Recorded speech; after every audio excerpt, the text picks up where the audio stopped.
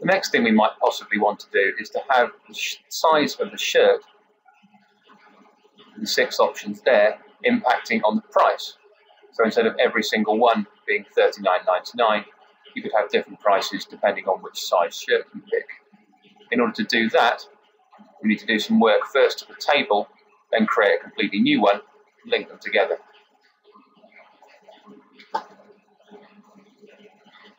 In the original table,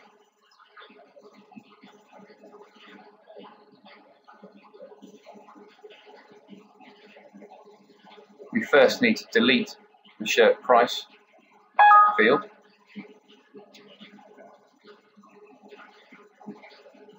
Then save that. In table shirt size, we can add an extra row.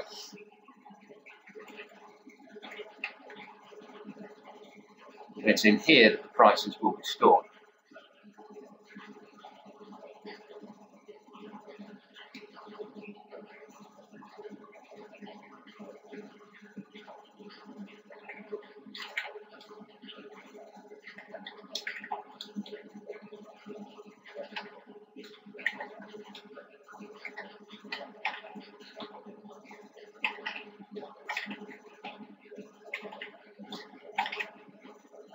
The prices have been entered there. We can close that table, the data will save itself. We also need to close that. We can uh, also now close that one. What we need to do now is to create a link between this table here and this table here called relationship. And that's done in Table Tools. So we go to the Relationships window. Hopefully what we've got here is a relationship which has already been set up due to the lookup between shirt size from that table there and the main order table.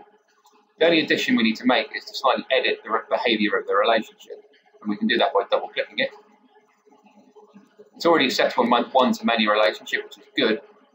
This enforcing referential integrity will prevent the user from choosing a shirt size that doesn't exist, and certainly one that doesn't have a price listed against it. Can then be saved and shut. Back in the query, we have table orders. The prices are kept in one of the other tables, so we need to show all of them and add the shirt size table into the query. Moving across now until we find the size column, which is just here, we can then drag price into here, so we'll go between shirt size and shirt name. And hopefully now, now that we've added the shirt price from the table up here into our query, we just need to check that the prices actually do work through. So we'll run the query, scan over here until we find the shirt price, and hope which is a good thing now, is that the prices now do reflect the two shirts that are here. But the key thing is whether they update depending on the size of shirt picked, which they do, which is good news. The total cost, because the fields are called the same thing, hasn't uh, been affected at all, and our job is done.